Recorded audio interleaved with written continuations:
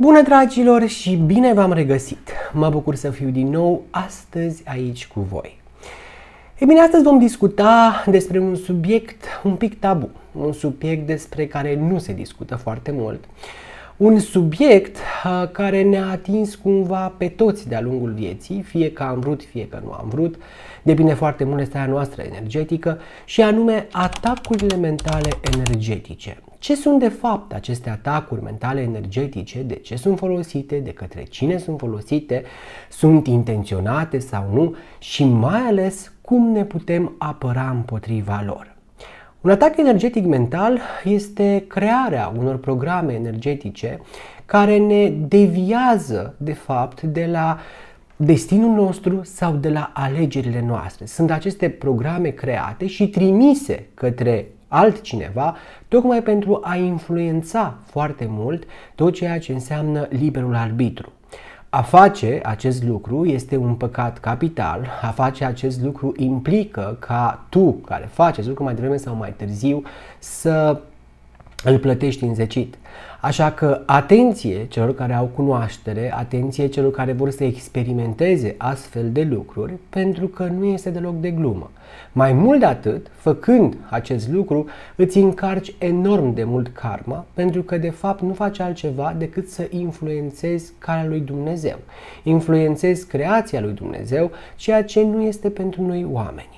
Spiritualitatea face parte din noi, din viața noastră, pentru a ne ajuta pe noi înșine și pentru a ajuta pe cei care ne cer uh, ajutorul, în niciun caz să influențăm noi anumite destine fără să ni se ceară de către persoana respectivă sau o rudă foarte apropiată.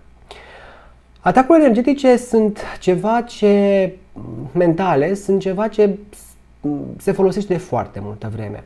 Că vorbim despre antichitate, că vorbim, nu știu, despre perioada lui uh, Rasputin, da, în care uh, țarul avea pe acel Rasputin care cumva crea anumite programe și influența oamenii de lângă, indiferent că se exagerează foarte mult ceea ce se întâmplă în momentul de față, chiar și în momentul de față, în prezent, există astfel de persoane care pot influența îi putem influența pe ceilalți. Că vorbim despre perioade în care se induce foarte multe frică, că vorbim de perioade în care se induce confuzie. Chiar și acum, 2 uh, ani de zile, noi am avut un astfel de exemplu în care pe lângă ceea ce s-a întâmplat a fost vorba și despre acest control uh, psihic, să-i spunem, această uh, programare mentală negativă, acest atac energetic mental care a făcut destul de multe ravagii. Unul la mână, aceste lucruri pot fi făcute în mod conștient și din păcate în ziua de astăzi există oameni care fac acest lucru, repet, vor plăti foarte scump pentru asta și este o greșeală enormă să facem acest lucru, Însă, bineînțeles că sunt și cazuri în care o fac inconștient. Și aici vorbim despre cei apropiați nou. Vorbim despre familie, vorbim despre prieteni foarte apropiați, vorbim despre frate, soră.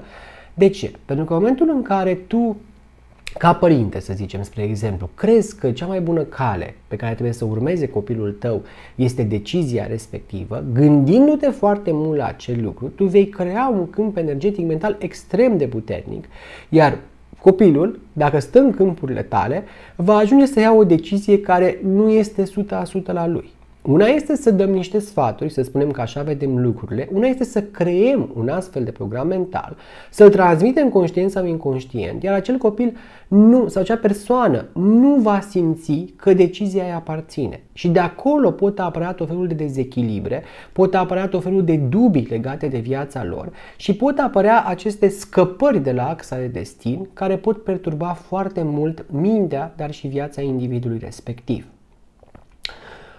În primul rând, uh, aceste atacuri mentale energetice sunt uh, orientate foarte mult spre cei care încă nu sunt foarte deschiși spiritual sau spre oamenii care au o vibrație energetică foarte joasă. Când tu ai o vibrație energetică foarte joasă, atunci câmpurile tale sunt foarte susceptibile astfel de atacuri și vei ajunge să te simți confuz de foarte multe ori, să faci un lucru fără să-ți dai seama.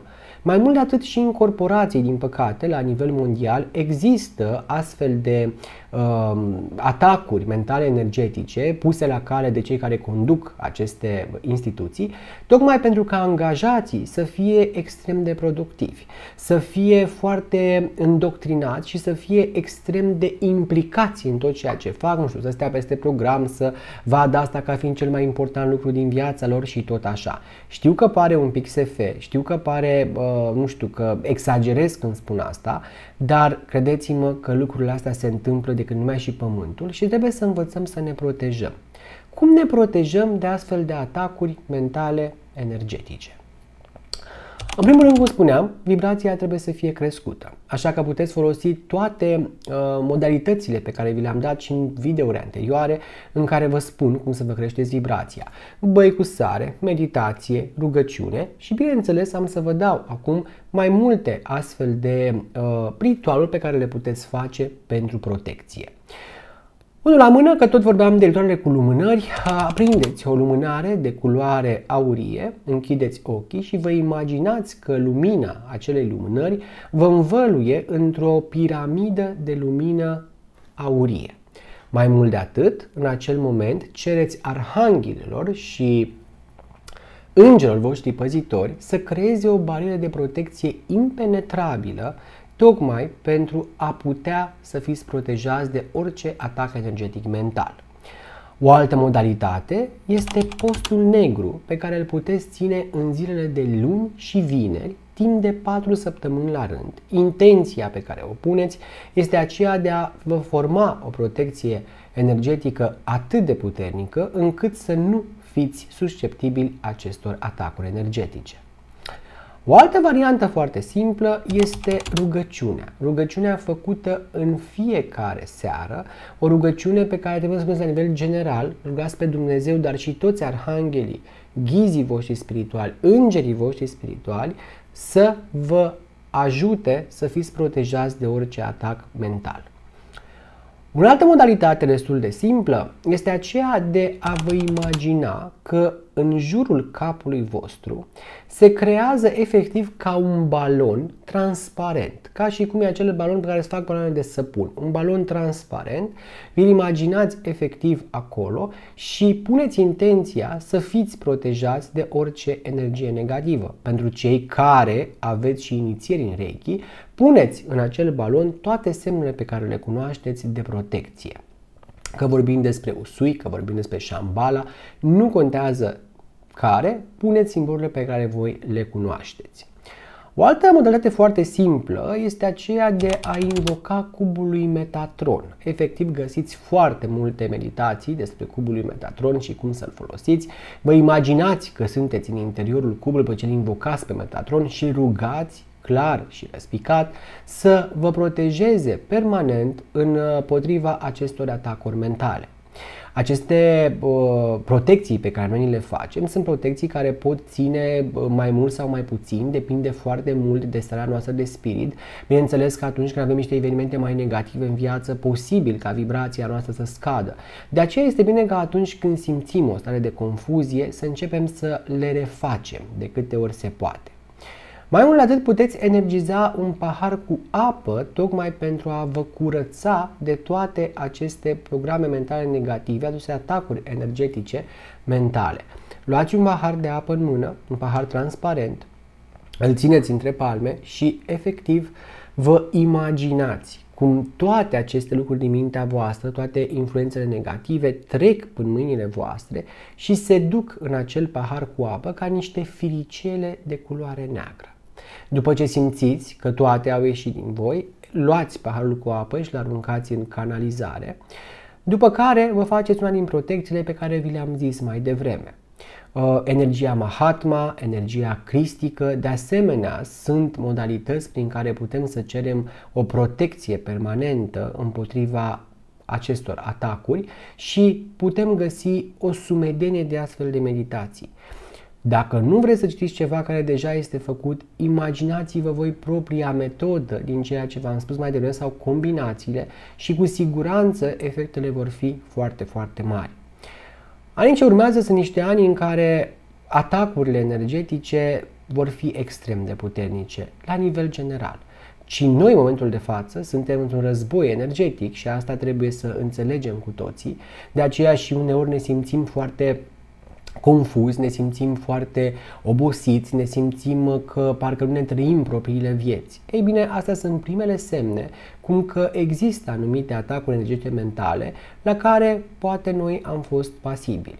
Nu există uh, un grad de protecție de 100% niciodată. Însă făcând tot felul de ritualuri, cu siguranță putem ajunge la un uh, nivel de protecție optim. Mai mult de atât putem folosi și psalmi. Citi psalmul 2, 5 și 11, timp de 14, 14 zile, dimineața de 3 ori, seara de 3 ori, deci timp de 14 zile, psalmii 2, psalmul 5 și psalmul 11, cu intenția de protecție împotriva oricărui tip de atac energetic, mai cu seamă atacurile energetice mentale. Este iarăși o modalitate foarte simplă pe care o puteți folosi cu toții. Aceste atacuri, v-am spus, există oameni care fac asta intenționat, nu vreau să intrăm în detalii, dar și noi din grija prea mare pe care o purtăm celor din jur putem crea aceste atacuri mentale negative. Încercați să fiți conștienți de asta și încercați să înțelegeți că fiecare dintre noi trebuie să alegem în viața noastră pentru că face parte din axa destinului nostru. Dacă am acest video, am să vă rog să dați un share și bineînțeles să dați un subscribe canalul de YouTube pentru a fi la curent cu tot ceea ce postez nou. Până data viitoare, vă doresc să fiți fericiți. La revedere!